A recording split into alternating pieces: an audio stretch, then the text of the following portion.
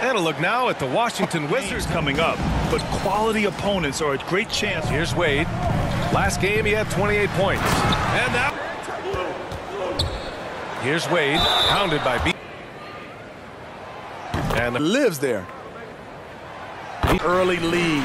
They just need to stay aggressive. Here's Wade, pounded by Beal. It's blocked. Almost a block. The shot won't fall. Ooh, excellent D there from Lowry. Here's Wade, driving to the basket. Gafford with the ball. It's deflected. Four seconds left. Wade, that's... And he lobs it up.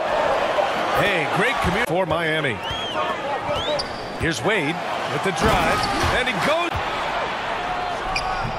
The baseline J is off the mark. Miami's gone 0 for 2 from outside in the second quarter. Oh, and there's a fast break in their first half tonight. They're taking it to them. I'll tell you. Around 39% in the second quarter. And it's man. Here's Wade. And it's good. Off the. Back to Lowry. Buries it. And Tucker. Then it's Kyle Lowry. Then it's Bam Adebayo. And it's Wade in at the two. Knocks it loose. Fast break Miami for the finish. And he. Shot clock at six. Oh, a beautiful rip down low. And he dunks.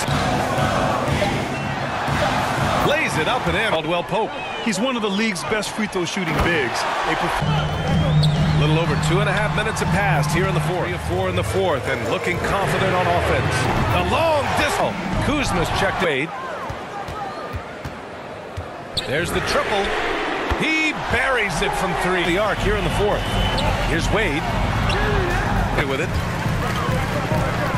There's the drive. Oh, this one is. Everyone is practicing the three.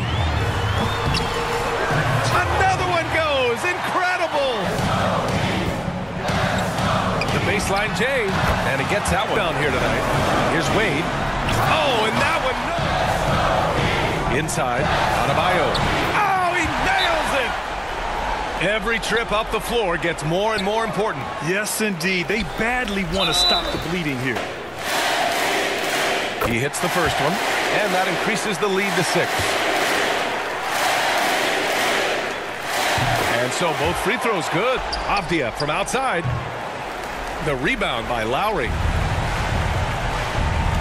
Here's Wade driving in, and it's good. He hits another one.